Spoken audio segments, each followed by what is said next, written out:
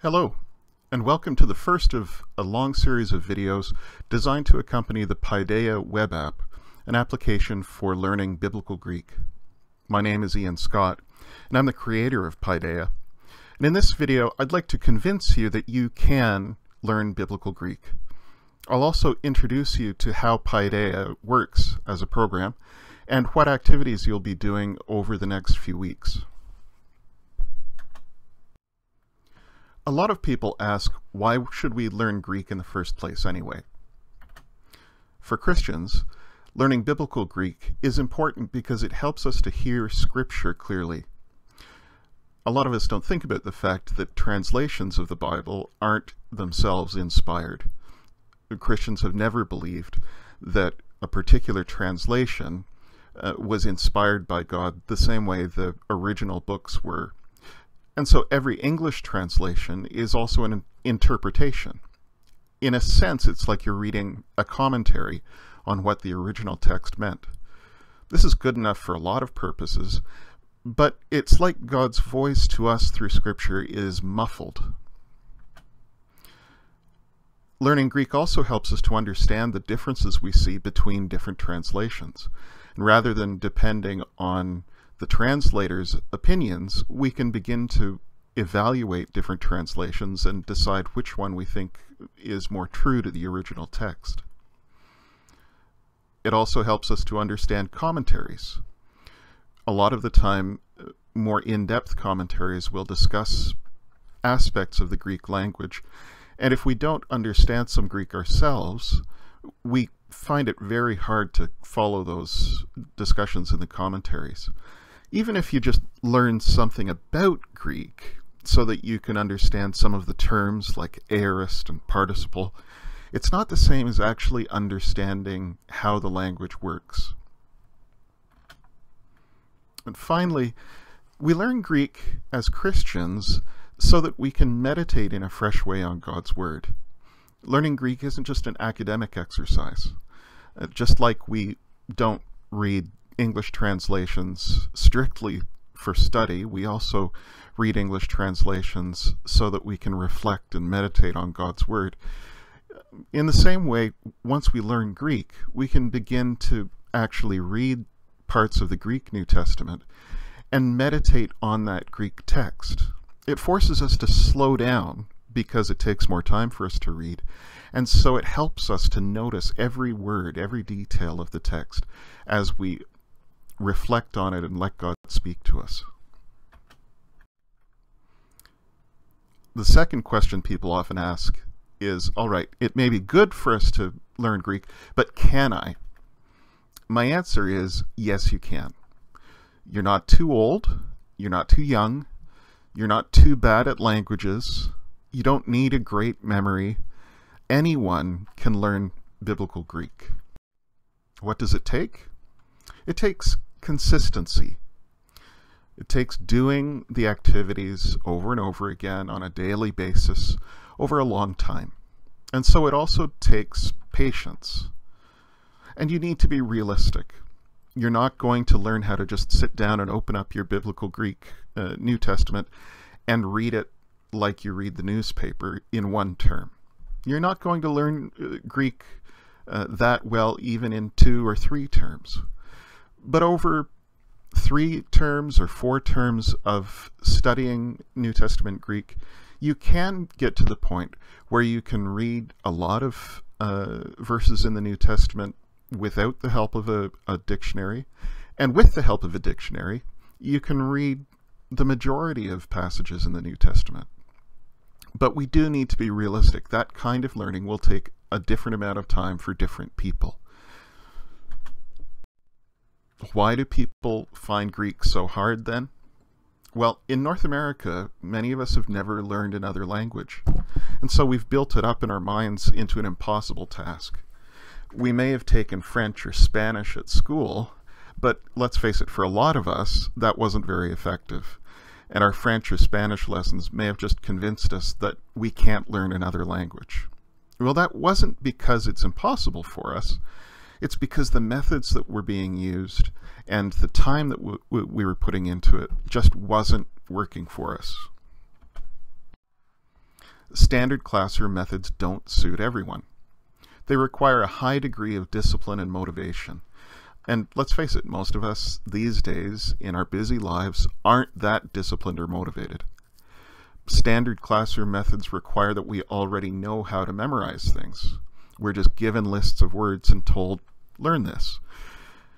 And learning is separated from the regular use of what we're learning. Paideia works differently. Paideia is designed to meet the needs of a broader range of students. It provides a fun, low-intensity environment. That means there are no tests or quizzes. You never have to worry about cramming, cramming for an exam. Your mistakes aren't penalized. You don't get marked down for getting things wrong. If you get something wrong, you'll go more slowly but that's just because the program is recognizing that if you get something wrong, you need to practice it more until you get it right. And so students in Paideia can move at their own pace. And finally, the town setting, for many of us, makes the interactions more interesting. It's a little bit like we're actually speaking with people. Paideia simplifies language learning. It's a one-stop solution. You don't have to make flashcards. You don't need to memorize complex paradigms, make big charts.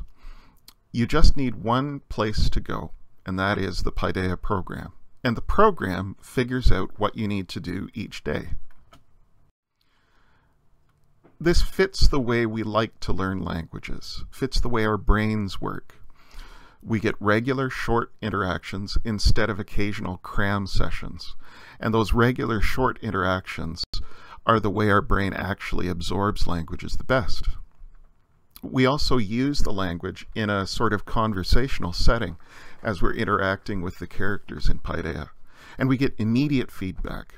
We don't have to fill out assignments and then wait until our professor marks them. You get the opportunity to correct your mistakes right away so as soon as you give a wrong answer, once you receive the immediate feedback, you have the opportunity to do that exercise over again so that you can get it right. So, how does this actually work? Well, once you've created an account on Paideia and logged in, each day you go to the map. And the map link is in the top uh, bar, the navigation bar on your browser window you click on one of the hotspots, one of the buildings uh, that highlights with a, a label when you move your mouse cursor over it.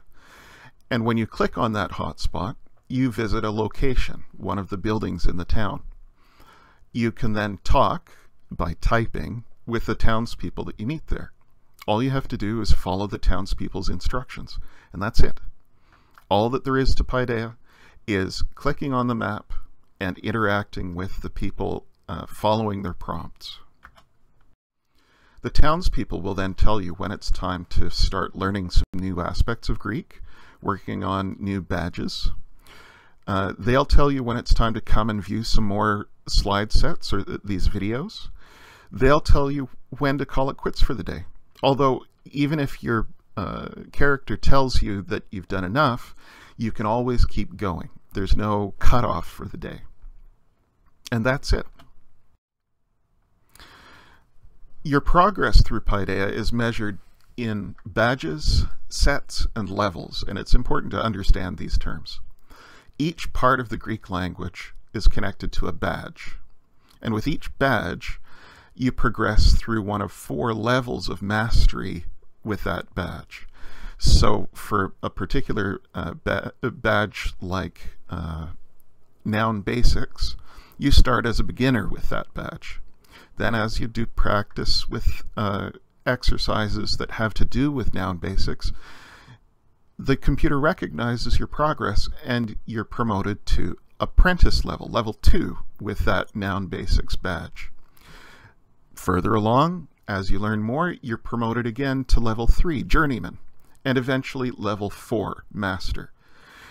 Now, you'll be working on a number of different badges, different parts of the Greek language uh, at the same time, but each badge levels up independently because the program recognizes that while you might be doing really well with one aspect of the language, maybe you're still struggling with another one. Your badges are gathered into sets, and each set of badges is introduced to together. These are a cluster of aspects of the language and a cluster of vocabulary words that you'll start learning together. And even though you progress uh, in badge levels independently in each badge, you won't be introduced to the next set of badges until you progress to a certain level in all of the badges in your first set. So in the picture here, you can see that uh, we have badge set uh, or badge one uh, in green is progressing well uh, and we're making good progress there. But badge two, which is part of the same badge set one, the second badge in that set, we're still struggling with. Uh, and badge three is somewhere in the middle. Well, moving on to the next badge set requires that all of the badges in your current set have reached the apprentice level, level 2. So here we see badge set 1, and all three of those badges have progressed beyond uh, level 1, beyond the beginner level. In badge 1, we've got the master level. In badge 2, we've got the uh, uh, apprentice level badge three, we've got the journeyman level. So uh, we're making good progress on all three of those badges in set one, even though uh, our actual level of learning in each badge varies. But because we've prog uh, progressed in all three of those badges to at least level two, the program recognizes that we're ready to start learning more. And so we're introduced to badge set two. And at the beginning, each of those badges is at the beginner level. So you can see the red dotted line there shows uh, the, the cutoff, uh, where once we get all of the badges in badge set 2 up to that red line to, to the uh, uh apprentice level or level 2, then we'll have a further badge set, set 3 introduced. And there it is that's how we progress uh, through the material in Paideia. Uh, advancing to apprentice level in a badge, advancing to that level two, uh, takes a couple of things. It, it, it requires that we demonstrate a good initial mastery of each of those parts of Greek. How is that measuring masters? Ma uh, mastery measured, sorry? Well, there are two independent ways. First of all, if you go for a full day, 24 hours, uh, without making any mistakes on that badge, then you'll be promoted to uh, apprentice level, level two with that badge. Um, now, that doesn't happen if you don't make any mistakes because you don't do any exercises. but if you're doing exercises on Paideia that day, and you do a good number of exercises, and the whole 24 hours of exercises passes without making any mistakes on a badge, then you'll be promoted to the next uh, level in that badge. The other way is uh, even if you're making a few mistakes, if 70% or 7 out of 10 of your responses uh, to exercises that relate to that badge, if 7 out of 10 of them are right over a period of a week, so it's averaged over 7 days, uh, if you get 7 out of 10 right over seven days, then you'll also be promoted to level two or apprentice level, even though you're still making a few mistakes. Because let's face it, sometimes we make typos, sometimes we, we're just not perfect. If you want some more inspiration and encouragement about uh, learning Greek, you can look uh, in the textbook by uh, Bill Mounce, Basics of Biblical Greek, uh, and the whole chapter one is focused on strategies and encouragement for learning biblical Greek. Now, notice that some of Mounce's advice isn't really uh, directly applicable when you're learning with Paideia because we don't have to do some of the independent work that uh, regular classroom courses involve. Uh, but if you want some extra encouragement and you want some more tips, you want to get a sense of how classroom learners uh, would normally work, that chapter one in Mounce's Basics of Biblical Greek is a good place to go. Now, if you really, really want to use some flashcards separately from the Paideia program, I recommend the free flashcard program called Anki. It uses a similar spaced repetition approach to memorization, uh, memorization uh, similar approach to the one used by this app. Uh, it has free clients for any operating system, so you can download it for Windows, for uh, Mac, uh, iOS, Android, and even Linux, which is what I happen to use. Uh, Anki has a free cloud syncing service, so all of your decks and progress can be synced between your laptop and your cell phone and your tablet. And there's also a free web interface for studying decks in a web browser. The uh, iPhone and iPad and Android apps uh, do cost uh, a little bit of money, uh, and that money helps to fund the, the uh, free clients that are available for the other platforms as well as uh, helping to fund the cloud syncing service. Um, you can download that program at ankisrs.net, and you can see the link there.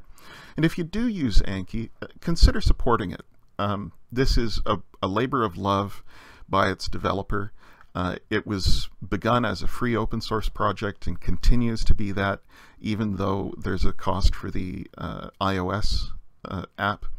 Um, so consider donating to the developer to help him continue uh, developing and expanding and maintaining the program. You can either uh, just make a direct donation or you can support the app by buying one of those paid mobile uh, clients. No, I'm not connected with the developer at all, but I do know what goes into developing free software, and it's a huge amount of work. So uh, if you like Anki and you use it, consider supporting it.